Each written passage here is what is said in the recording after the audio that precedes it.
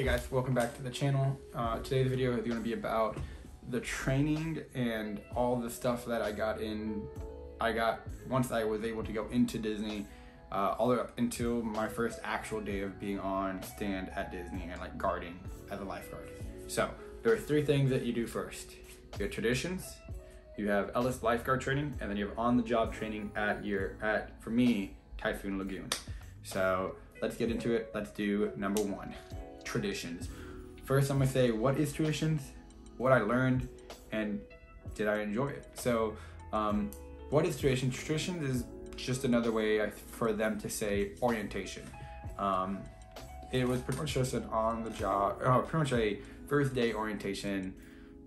A lot of PowerPoints, a lot of presentations, um, and just a lot of like kind of trying to get everyone in the company to have the same mentality of like what we're doing here. Um, what did I learn? Uh, we learned pretty much the what like the four key the five my bad five key principles are working at Disney. Um, what are the benefits of working at Disney? Um, how to like clock in and clock out. That was pretty important. Like some of the rules on what you should do and shouldn't do. Like that stuff. Um, we also learned about like Walt Disney's story, like how he made Disneyland and now Disney World.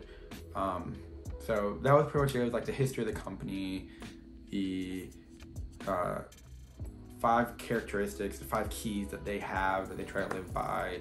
That was it was a lot of that type of stuff, if that makes sense. Um, it was a pretty good day. Uh, it was again eight to like five. Um, nothing really that long, but it felt long. So some tips I would say is uh, bring water, bring an energy drink if you are someone that does that, or coffee. Uh, they do have a lunch cafeteria, um, but you can pack your own lunch. Uh, what else? They do have it at like tables, so bring something to write with, and so you can take notes. Or like what I did is I just doodled um, when we were doing the presentations. I just drew stuff to keep me awake. But at the end of the end of orientation, it was nice. Uh, that's also when you get your blue ID. So it is the ID that shows like you're a staff member.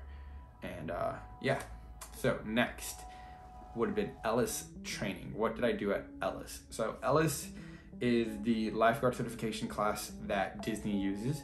It is a modified version of what the public uses because they have specific rules at Disney. So it's not like the Ellis big training. It's the two different companies, but there's one that's just for Disney. So Ellis is a three-day course. It is from like eight to five. So like on lifeguarding, it's a long day. You're doing everything for those three days. Um, your first two days are like actual training. Your second day is review, and or your third day is review, and then test day. So day one was a lot of standards and procedures for like lifeguarding. So like how to do saves. What are the different saves? Um, what are the signs of someone drowning? How to, what are the times that you have to hit? So it's like 20, it's called your 10 20 is what they call it. It's like 10 seconds to notice something, 20 seconds to give aid because by then they're already in the drowning process. Um, other things that we learned on day one were also like CPR. So we went into CPR a lot because it's a big part of being a lifeguard is knowing how to do CPR. So they had CPR on three different uh, like people. So it was CPR on an infant, CPR on a child, and CPR on an adult. Kind of simple in all the other ways, but they were like really hammered in on that because it's pretty important. Um, day two of Ellis training was all first aid. And I'm saying all first aid. Like, give me a second. I'll show you because I have my notes right here. These are the notes that I took on day two of first aid it was all of this was taken. Just three or four pages of notes of first aid, anywhere from seizures to uh, heart attacks to bug bites to poison ivy to anything that you can think of. They made sure it was in there because you could run into anything honestly. in Florida, like we were told how to deal with someone got bit by an animal. It's like, oh, that's kind of weird, but okay. But yeah, you think about it. You're in Florida. You're in like a swamp. Not really, but yeah. Um, so yeah, that was all first aid. And then after that, we did situation uh, training. So like, it was more of a you walk out on the pool and you see something and you reacted. Uh, that was like a big thing because the next day, come test day, that's one of our tests. So it was you have a patient, they're drowning. You have a guest and now they're having a heart attack. You have a guest and they lost their kid is choking. You have a guest and they can't breathe but they have a pulse. So you have to like react to that stuff. So that was day two. Now day three is test day. The test is three tests. You have a multiple choice test. You have a first a CPR test, and then you have a team reaction test. Kind of like I was saying, the whole scenario reaction. That's what it was. So let's go first. Um, which one did I worry about the most? For me, I worried about the CP, the uh, not CPR, the multiple choice. That's just because who I am. I hate tests. I hate like written tests. So that was my fear. But after it, I was like, oh, this is not bad because I only got like one wrong, and you have to get an eighty percent or higher in fifty questions. So I was like, oh, chilling. So there was the tests. Then you had um, after te- the multiple choice test, you had the CPR test. So CPR was just how you do think. You would go in there. It was one on one or one on two, but kind of one on one with a trainer and you. They would give you either a baby, and a child, or an adult mannequin, and they say you found this person and go. So you go through the whole steps of CPR. So checking for if they're conscious, and all the way up to uh, the EMTs or paramedics coming to take over. So you did everything for all three of those because they need to make sure you can do all three. Um, after that, it was time for the scanning or the team scenario test. Um, now, this one kind of made me worry just a little bit, but not as bad um, because it wasn't that terrible. But I was worried they were going to throw something out at you that I, we didn't see or that was like one minute talked about. But it was very, they prepared you very well for these tests. And that's one thing I would say about Ellis is they did a lot of hands-on training, a lot of in the water, making sure you can do stuff. Um, so that was nice. So we went in there and we just get in the pool, take control of the pool, and then they have like three or four different scenarios and one leading up to needing a backboard somehow. So that wasn't bad. That was sadly though not all the training you're getting on lifeguard and not all the training for Disney either cuz next thing we had to do was on the job training and typhoon for at least what they called it at typhoon was uh, forecast typhoon. Um, it is pretty much just a first day, like more paperwork, more um, office training, I guess. Not office training, but like stuff that you would do for any job and uh, like history of the park, uh, the like mentality of the park, like what our goals are and vision for the park and water work and the water parks. So that's all that was the first day. Also for lifeguards, we learned on that first day how to do bleed control because only lifeguards at the water parks. I think no, no. I think it's just Ellis doesn't do bleed control. Only life like the lifeguard trainers do. So it's just like a tourniquet, bandages, uh, how to like pack a wound if something happens. Just your regular like first your regular bleeding training. So we did that and then we also got a tour of the park on uh, Forecast Typhoon. Now, this is to be like the first out of three tours that you get. Um, but this one is more of a general overview for everyone because at Forecast, you are not just with lifeguards, it's lifeguards and custodial and food and bev, and just anyone that is coming in that day is going to do that course. So it was a nice day. Um, a lot of it was inside. Again, you can bring your own lunch. They have a cast area if they wanted to buy lunch, but hell's up to you. Apologize. So forecast that that's forecast, and I include that as on-job training because it was at Typhoon. and You were actually at the park. So now let's go to the actual lifeguard on-the-job trainings, which consists of three days, and then a test day for deep water lifeguards like myself.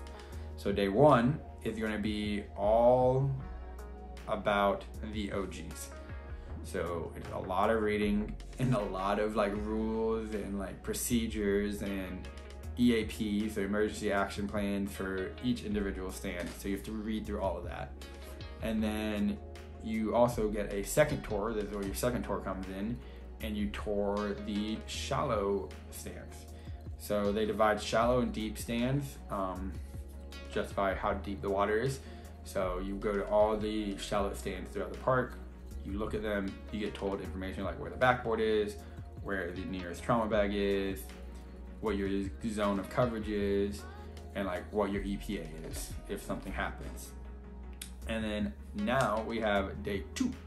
Day two for on the job training is pretty much the same, or not, it's pretty much just going back to those areas, but now you're actually like taking control, taking control because you're not technically a full lifeguard yet. So you're taking control of the water and you're just displaying that you know how to lifeguard, displaying your scanning procedures, displaying like scanning on and off, showing that you can keep your 1020 and like interact with guests if needed, if anything was to come up.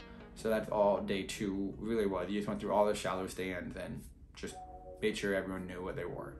Um, also, if you need to, you could also read the OGs that you haven't read from the day before.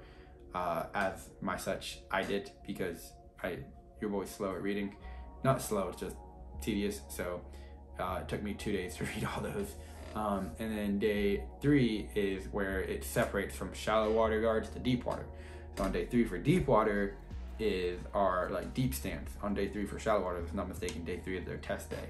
So we had to do um, go to the stands. This is also like your third tour kind of because you go to the deep water stands and you like stand in and you get toward them and they tell you what everything is and then you scan in on those and you display your lifeguarding skills of covering the water. After that, you go back and you read your deep water OGs. So there are six, seven, eight deep water stands. So there's eight OGs you have to read for that. And at this point, a lot of them you will start to notice are kind of repetitive, especially the six or the wave wall, because they're all the same generally uh, for the EPA, like the emergency plan of action, because they're all like the same area, if that makes sense. So it's all one pool, so it's all the same EPA. e- EAP, my bad, not EPA, EAP. So after you do that, you are done for that day, and then you go to test day, which is known as a Kappa. So it is a knowledge assessment, and all you do is, um, for me at least, I reviewed the first uh, few hours of it, as in my trainer let us go out and I just asked any questions I had, made sure everything I was saying was correct, and then we went back backstage. I took a multiple choice test. Now this one is not something I'm stressed about either, but it is a lot a bit longer because it has Ellis training questions, it has on the job questions, it has other regular lifeguard questions, it has like hospitality questions and like park questions. So it was just a lot. So it's not like hard. It's just it's a longer test, just so you are aware. And then after your multiple choice, you go do your um, like in-person test. I guess would be the best way to say it. So you just make sure that like you can scan on and out of all the positions. You know everything that pretty much everything that like you asked in the morning, you're pretty much saying again in the afternoon. And after that, you're finally certified as a lifeguard. But However, you're not done with training. So for Disney uh, and Ellis, you have to do four hours of training each month. So it's divided up by two days or two hours each. You just come in for us, we come in at 7 15, and then we just do an hour or just do two hours of lifeguard training and then turn everything back in. But that is something that they do that most places don't do is the fact that it's like every month you have to have those two hours or else you can't lifeguard. So yeah.